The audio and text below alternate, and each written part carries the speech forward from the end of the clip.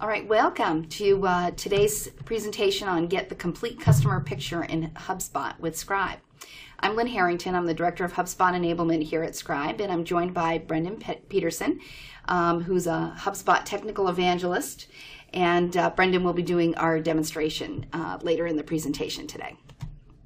So let's start with a couple of housekeeping items first. Um, there are some icons down at the bottom of your screen, some important icons. The first is the blue icon uh, that is the media player icon. And this will allow you to adjust the sound, but also to pause or forward the presentation. And the presentation will be available to you for about two hours after, um, after this viewing. So if you do want to forward it on to a colleague, feel free. We will be monitoring the presentation um, through chat, so feel free to submit questions and we will answer those questions. If uh, we run out of time and are not able to answer the questions through chat, we will follow up with you via email after afterwards. And then there is a resource folder. We will uh, include a slide at the end of the presentation with some additional links, but definitely the, the links and slide deck and case study and other resources are available in that folder. So feel free to access that as well. Okay, so today's agenda. Um, we're first going to talk about why HubSpot customers would need Scribe for data integration. Why would you want to integrate HubSpot to your uh, CRM system and why would you use Scribe? Then we're going to move on and Brendan is going to give you a demonstration of Scribe Online and our HubSpot connector. Um, lastly, we'll tie it back to, again, some key benefits to HubSpot customers and uh, we'll continue on with the Q&A for a period of time. For those of you that are not familiar with Scribe, we do offer solutions for data migration and integration um, and have done so for a very long time. One of our focus markets has been um, Microsoft Dynamics CRM.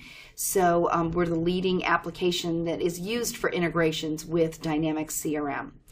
Um, we have, over the past couple of years, seen a real uh, growth in the needs of tying various marketing solutions and systems together uh, with CRM systems and other uh, sources of um, customer data, which I'm going to talk about in a few moments.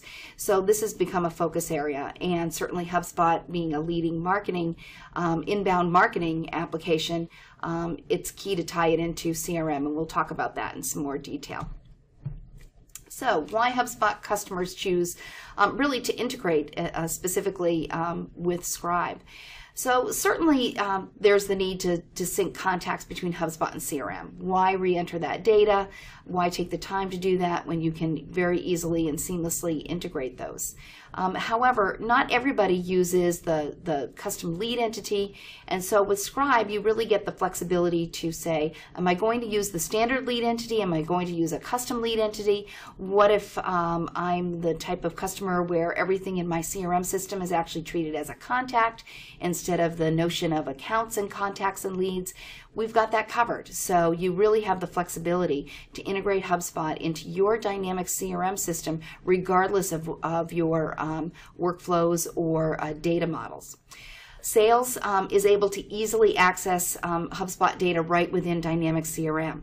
So it's really important to speak with one voice as you're talking to your prospects and your customers. So the ability for your salesperson to continue to work within Dynamics CRM, uh, but through an iframe be able to see all of the activity that's gone on with that customer within HubSpot. It enables them to customize their conversation and their follow-up activities with that customer so that they're really providing the most relevant information and honing in on how best to move that, that prospect or their customer forward in their decision-making process. Closed loop reporting is one of the key features of HubSpot. Um, great reports and dashboards, but of course you need the data to populate those. How do you do that? By setting up a seamless integration where as soon as opportunities are closed from um, leads that have come from HubSpot, that information is updated in HubSpot so that you can see when it closed, how much it closed for, and really hone in on your most um, lucrative and fruitful um, marketing campaigns. And then lastly, we support all deployments of CRM. So it doesn't matter whether you're using CRM online, on premise, or a hosted version, Scribe can be used regardless of the deployment. With that, I'm going to turn it over to Brendan, who's going to talk about um, some use case scenarios and then go into the demo. All right. So, um, I won't go through all the bullets on the slide. You guys can read, so I won't have to read them to you. But basically, what we've got with, with HubSpot and CRM uh, is what we call a starter pack. This allows you to sync some, you know, basic data back and forth. Mainly, you know, the biggest driver to this is sharing contact data from HubSpot with leads and contacts within Dynamic CRM. So anyone that comes in brand new from HubSpot, allowing that to sync with CRM, um, and it has some intelligence there as well. So, you know, is it a contact? Make sure it's if it's there, update it. If it's already a lead, update that before creating a new lead. So making sure we don't propagate a ton of duplicates into your, your CRM system and just create clutter and, and noise. Like Lynn said, that could be leads and contacts, that could be custom objects, that could be accounts, that could be whatever you really want it to be. Uh, we've defined the logic already. All you have to do is really swap out the entity, and the rest of the logic applies. So you can change how that however you wish also to that, what we've done inside of CRM is we've added a couple of iframes on the forms for leads and contacts. This is going to link back to a um, profile URL within HubSpot. That gives us the ability right within CRM to see the activity data, to enroll those contacts and leads in workflows in HubSpot. So it actually gives us a window to interact with that record um, from Dynamic CRM without needing a, a login account to HubSpot. Uh, so it's actually a really cool feature. Um, it's something that, that they have offered natively, but there's not a lot that you know that, not, not a lot of people are doing this with it of offering that that kind of iframe piece. So it's kind of a new a new thing that we're doing, but it's it's really pretty cool. Lastly, is the closed loop reporting. So allowing those opportunities created inside of CRM to flow back to HubSpot. This allows HubSpot's marketing teams to be able to you can you can establish reports, you can do that closed loop reporting, um, you can evaluate how the campaigns are doing based upon actual revenue that's coming in. So it's a really um, powerful feature, and it enables some of the HubSpot functionality that is why you get that platform. So within Scribe, um, what we'll do is really cover a couple things really quickly. First of all, the way that we support um, you know, Lynn mentioned on-prem, online, partner-hosted, is with what we call an agent technology. So agents can either run in the cloud or on-premise. So if you have a HubSpot CRM online, you can use a cloud agent completely managed by Scribe, no software installation period. If you have on-premise data though, on-premise CRM, uh, maybe you have a text file or a SQL database you want to get some data from into HubSpot, you can deploy an on-premise agent. It's about a two-minute wizard, um, really simple to use but it allows you not to have to poke holes in your firewall. Uh, that agent reaches outbound to HubSpot, outbound to whatever it needs to talk to, but it makes it a much friendlier IT conversation than saying, you know, open up port 443, do this, do that. Um, it's a lot simpler to not have to make your systems internet facing by deploying that agent locally. So what we've got between these systems, um, like I said, we've got kind of a starter pack that exists here. So I can see within this that I've got a series of maps that have been built, um, moving contact data back and forth. If I dig into each one, I can see the logic that applies, so it's kind of well documented. I can read from the top down, figure out what it's doing, um, find data in HubSpot, update it, create it. Each one of these these kind of blocks that you see here have different field mappings. So if I want to add additional field mappings, I've got particular um, data points I want to push across. I can just drag and drop that data and that's going to allow me to then map my custom fields, my standard fields from CRM into HubSpot or vice versa. You can see up top here, I can apply logic to that, so I can do some data transformation. Um, but it's a really simple field mapper, so it's not going out and writing a little bit of, of .NET code to do this. Uh, it's just using this drag and drop interface to kind of support that, that model. I could also use, like I so show here, um, the opportunities being synced back and forth. So that opportunity is going to come from CRM, and I can see that I can do joins, so I can bring in related data, and I expose everything in CRM. So because we use the CRM API, we get every object, every field that exists within that system. And the same thing for HubSpot. We have a list of all the different objects that are exposed there. So we can do, you know, by the operations. I can do opt-outs. I can add and remove individuals from lists.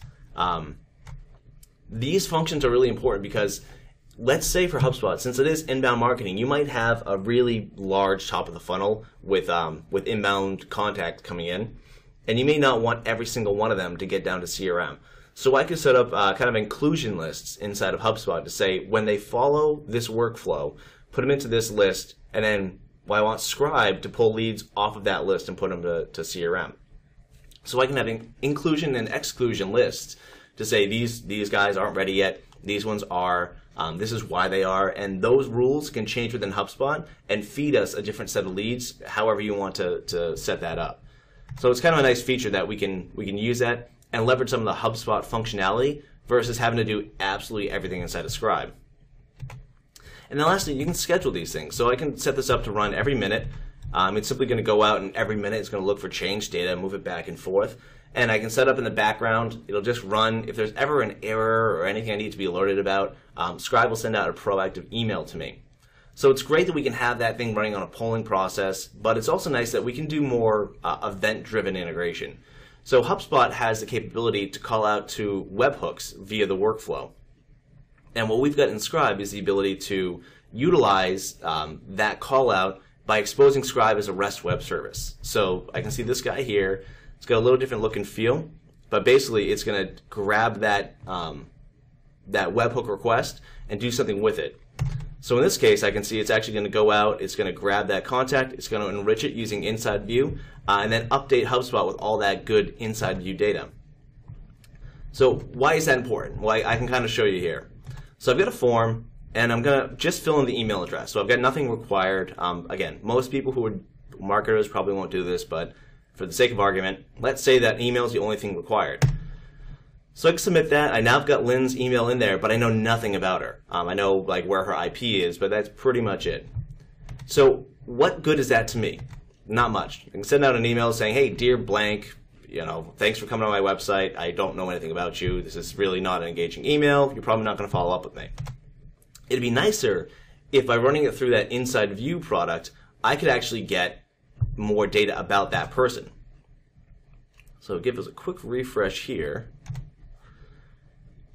And obviously that lead um, is automatically created here, but I can see that that webhook's already fired, and I've got all this information about Lynn. So I've got her name, her company, her address, her role, what the, the type of company she works for is. Um, I can bring back all that good data, enrich it inside of, of HubSpot, and now I know more about Lynn. I can better segment, better target, better personalize with that record. What I also get is because I have the natural sync going on between HubSpot and CRM, Lynn's record is going to get down to Dynamic CRM and it's going to have this complete data. So it's really nice that I don't have to worry about, you know, just getting a, an empty email. I can see now I've got Lynn's record in here, she was just created. Um, I can see all that same data. So now as a sales rep, I might come in here and say, okay, this is great. I can take a look down here. I can see some HubSpot data. I can see these iframes, how she came in. So she came in through my lead capture. Um, she's actually got an email scheduled to come out to her. So I can see she's enrolled in one workflow. So I get this nice glimpse into HubSpot from the iframes inside of, of Dynamics CRM. What's also nice is that I'll go ahead and I'm going to qualify Lynn, uh, which means that she's going to get converted over to a contact. What's really cool about this is that that history of Lynn's is going to follow her. So just because she happens to have been been changed inside of CRM, I'm not going to get another contact in HubSpot. I'm going to keep working with that same individual, and a couple of things are going to follow along with that. So within Lynn's record, she's qualified. Um, I know she's looking for for something from me, so I'm going to add an opportunity for her, and we'll just say she needs stuff. So really not much in the opportunity, but I know that she has an active opportunity now that scribe sync is going to pick up on the fact that she now has an opportunity. It's going to re-update her contact record inside a HubSpot, and it's going to allow us to then see that she's gone from a lead to an opportunity. Once that record is synced, I can then close the opportunity, and I'll see she moves from an opportunity to a customer. So I can track her life cycle uh, really simply through this interface because I'm going to follow the normal process I always do in CRM and I just have Scribe listening on the other side, and it's going to push that data over uh, into HubSpot. So we take another look at Lynn, and I can see here that she's become an opportunity. Um, another minute or so, I'm going to get a sync back across, and she's going to become a customer. So I've got that ability now that I can expose that closed loop reporting to my HubSpot users um, by simply following the same sales process that I always do inside of CRM. And I don't have to, again, I don't have to grant a login to a CRM user to HubSpot to do all this. I can really keep these separate uh, and allow each user to work in their, you know, their own territory, their own own application. Thank you, Brendan. Okay, so just to uh, recap, I think um, you've probably seen from the demonstration um, some of the key benefits around Scribe is first and foremost flexibility. So um, really, if you you know, hopefully we spurred some ideas today of, of things that you could do going beyond even just um, dynamic CRM integration with HubSpot. Um, I think you saw the, probably the ease of use. So it does not require a developer. Um, it's really something that can be handled by a marketing technologist. Um, probably somebody more than um, um, your average HubSpot user, but certainly a power HubSpot user could could uh, work with Scribe Online as well. In the area of connectivity, um, just a reminder here that customer and prospect data exists in more than just Dynamic CRM. So as you become a more sophisticated HubSpot user, you are able to um, you are able to you know expand um, the data sharing that goes on with HubSpot. Fourth, innovation. It's a full-featured platform. We continue to develop on it um, every day and um, not only with the core technology which Brendan showed you, but in the area of connectivity. So um, these are the the um, different sources that we can connect with now, both on the application side and um, certainly with technology connectors, what we call technology connectors, so that you can connect to lots of data sources um, through very standard methods of, of, connectivity. And again, this is something that you can phase in and um, leverage over time. Um, in addition to HubSpot and Dynamics uh, integration, you can certainly integrate um, Dynamics CRM with uh, very, you know, various uh, sources um, all through Scribe Online. Okay, now we uh, will leave some time for Q&A, so feel free to submit your questions. We certainly will answer those. And uh, a reminder, if we run out of time here, we will follow up with you um, certainly through email to get you the answers to those questions. To continue your evaluation, feel free to um, look at more information through YouTube, our blog, or to contact a salesperson. Uh, again, that resources folder is also available to you. There's links and resources in there as well. Thank you for your time today.